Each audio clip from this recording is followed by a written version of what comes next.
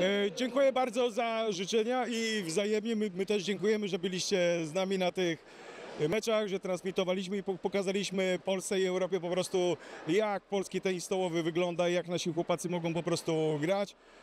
Medal, z- tak jak przed chwileczką powiedziałem, o, o godzinie 18 z minutami w Działdowie było kilkaset osób, które były najszczęśliwsze na ziemi i dlatego no, y, piękna historia.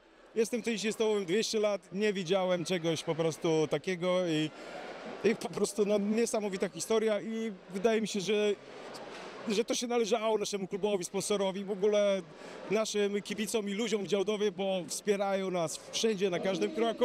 I to jest najpiękniejsze, co może być, że, że widzimy wzruszenie po meczach, jak, jak po prostu gramy, jakie mamy wsparcie. I to jest jedna wielka rodzina i dlatego dzisiaj jesteśmy najszczęśliwsi na całym świecie.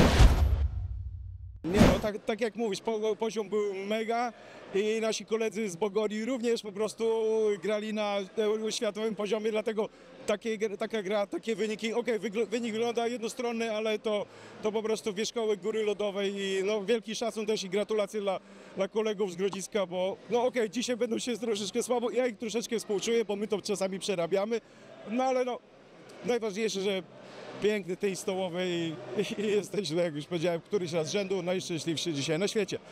Je, Jeszcze kogoś pozdrowić, bo jest najważniejsza dla mnie dzisiaj rzecz.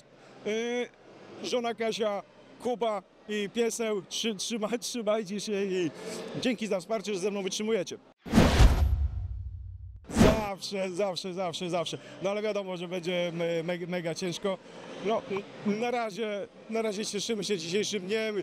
Nie wiem, nie wiem, na re- potrzebujemy kilka dni na regenerację w ogóle mózgów, serca i w ogóle, żeby to się wszystko a potem zobaczymy, co się będzie po prostu działo, bo są też igrzyska, są, są loty Superligi, dlatego na razie luz i celebracja sukcesu.